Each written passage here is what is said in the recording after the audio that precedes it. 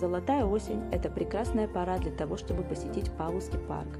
Поэтому мы раз в несколько лет обязательно приезжаем сюда осенью прогуляться и насладиться красотами.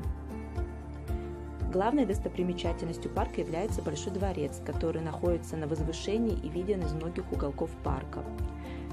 Архитектурный облик дворца создавался на протяжении 50 лет. Над ним работали такие известные архитекторы, как Чарльз Камерон, Адри Воронихин, Карло Росси, Минченцо Бренна и многие другие.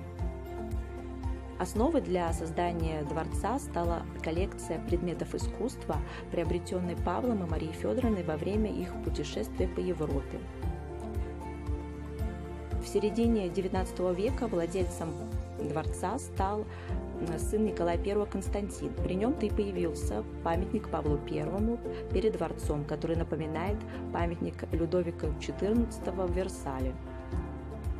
По традиции перед дворцом разбит регулярный французский сад, а за ним открывается огромный пейзажный с извилистыми дорожками, аллеями, прудами.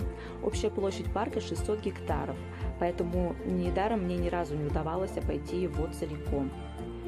Недалеко от Большого дворца находится храм дружбы, павильон, построенный по повелению Павла и Марии Федоровны в качестве благодарности Екатерине II за то, что она подарила им эти земли.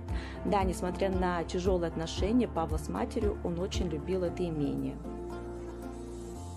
По этой лестнице поднимались гости во время торжественных церемоний.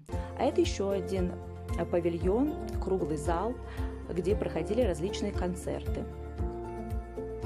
Павловский сейчас частенько проходят различные мероприятия, музыкальные, культурные. И помимо перечисленных мной павильонов, здесь можно увидеть и другие, например, колоннаду, амфитеатр, э, мавзолей Павла I.